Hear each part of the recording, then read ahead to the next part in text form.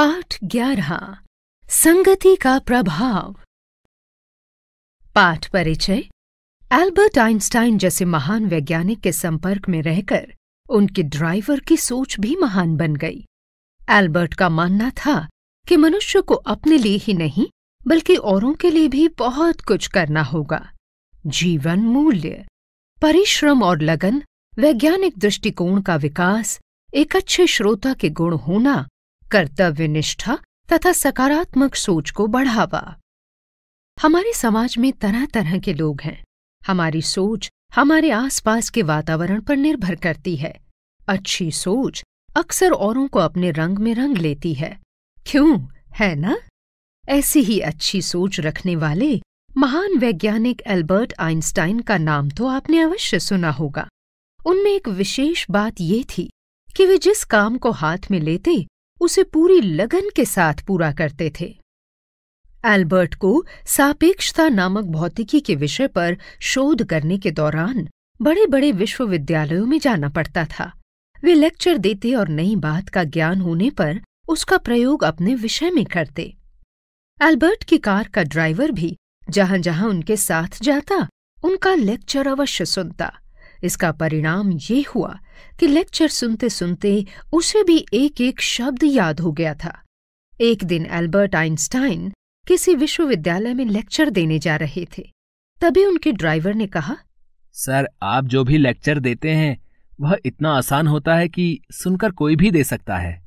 उस दिन आइंस्टाइन एक ऐसे विश्वविद्यालय में जा रहे थे जहाँ सब उनका नाम तो जानते थे पर उन्होंने कभी एल्बर्ट को देखा न था।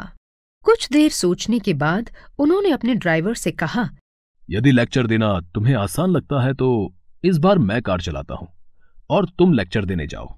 ड्राइवर ने यह प्रस्ताव खुशी खुशी स्वीकार किया। दोनों ने अपने अपने कपड़े बदले और विश्वविद्यालय जा पहुँचे। वहाँ पहुंचकर दोनों कार से बाहर निकले और विश्वविद्यालय पहुँचे। एल्बर्ट के कहे अनुसार ड्राइवर ने लेक्चर देना शुरू किया। वहाँ मौजूद बड़े बड़े प्रोफेसरों को भी इस बात की भनक तक न लगी कि लेक्चर देने वाले आइंस्टाइन नहीं बल्कि कोई और हैं। लेक्चर खत्म होने के बाद एक प्रोफेसर ने आकर आइंस्टाइन बने ड्राइवर से एक सवाल किया। तो उसने जवाब देते हुए कहा इतने आसान सवाल का जवाब तो मेरा ड्राइवर ही दे देगा। फिर क्या था? सबके सवालों के जवाब ड्राइवर बने आइंस्टाइन ने ही दिए। जब सवालों का सिलसिला खत्म हुआ तो आइंस्टाइन ने आगे आकर सबको बताया कि लेक्चर देने वाला वास्तव में उनका ड्राइवर था। ये सच्चाई सुनकर सब आश्चर्यचकित हो उठे। वे सोच में पड़ गए कि जो चीज़ें बड़े बड़े वैज्ञानिक नहीं समझ पाते, उन्हें एक ड्राइवर ने इतनी आसानी से सबको कैसे समझा दिया? तो देखा आपने किस तरह एक साधारण ड्राइवर की सोच एक महान वैज्ञानिक के संपर्क में रहने के कारण इतनी महान हो गई?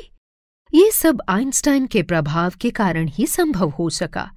अपने गुणों के बल पर साधारण लोगों के बीच रहने वाले एल्बर्ट आइंस्टाइन ने विज्ञान के क्षेत्र में अपनी एक अलग पहचान बना ली थी। नई जानकारी। एल्बर्ट आइंस्टाइन ने सापेक्षता के सिद्धांत थ्योरी ऑफ़ रिलेटिविटी की खोज की। उन्होंने पता लगाया कि प्रकाश, अंतरिक्ष तथा समय के साथ साथ सूर्य आदि नक्षत्रों की स्थिति की गणना के लिए चौथा कुछ भी ज़रूरी है। ये चौथा कुछ ही सापेक्षता का सिद्धांत कहलाया।